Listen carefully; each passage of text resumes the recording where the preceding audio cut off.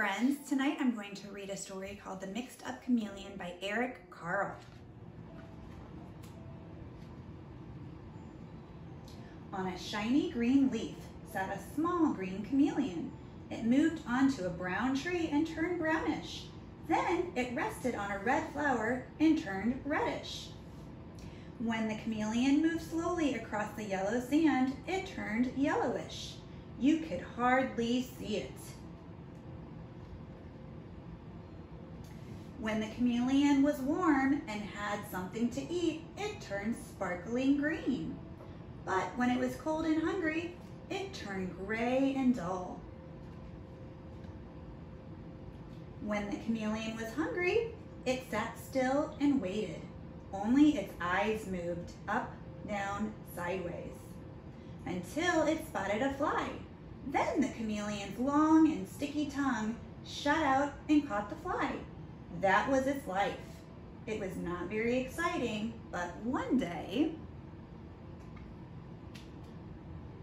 the chameleon saw a zoo. It had never seen so many beautiful animals. The chameleon thought, how small I am, how slow, how weak. I wish I could be big and white like a polar bear.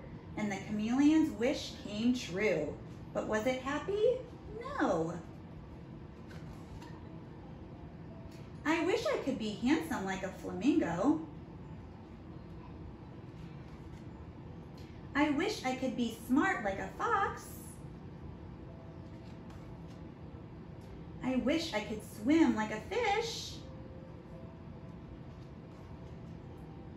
I wish I could run like a deer. I wish I could see things far away like a giraffe. I wish I could hide in a shell like a turtle.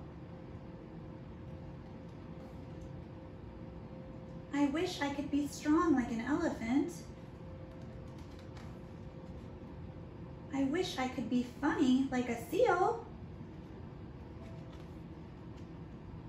I wish I could be like people. Just then a fly flew by. The chameleon was very hungry, but the chameleon was very mixed up.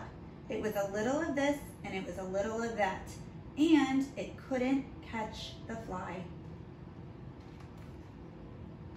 I wish I could be myself. The chameleon's wish came true, and it caught the fly. If you look on my channel, I also have a little painting activity to go with this book. Thank you for watching.